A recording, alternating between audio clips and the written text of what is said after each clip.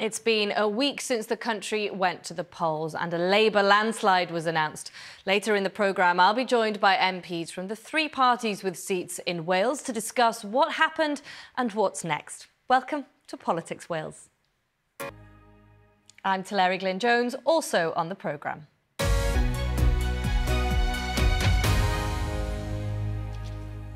Bore da, good morning. It's been another chapter in the First Minister's book of bad weeks.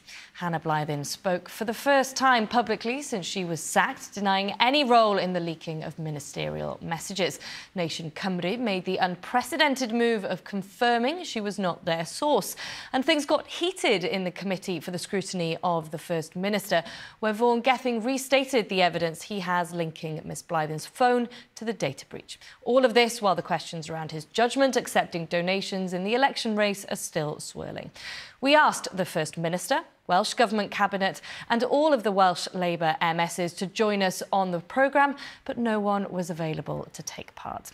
But joining me now instead is Tom Giffard. Um, you said a few weeks ago that the, the gig was up for the First Minister, um, but he's still there. Um, can, can he continue? The media, she's not, you know, Nation Cymru say she's not the source. Um, but what Vaughan Gething is saying is that it, it came from her phone. You know, presumably, well, if I'd from the Welsh Conservatives, thank you very much for coming in this morning.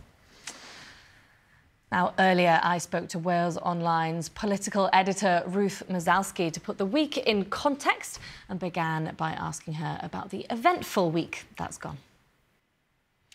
Now, people in Abertillery who didn't vote in the general elections say they feel forgotten by politicians. The town's constituency, Blaenau Gwent and Rhymney, had the lowest voter turnout in the country at just under 43%. Across Wales, 56% of voters filled out their ballot papers, compared to 60% across the UK. Our reporter Gemma Dunstan went to find out why some people chose not to cast their vote.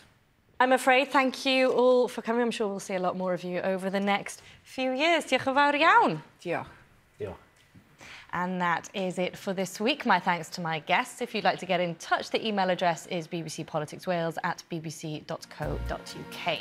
Roger Llewellyn will be here next Sunday at 10 for the last programme before the summer. But that's it from me. Hwyl fawr i chi.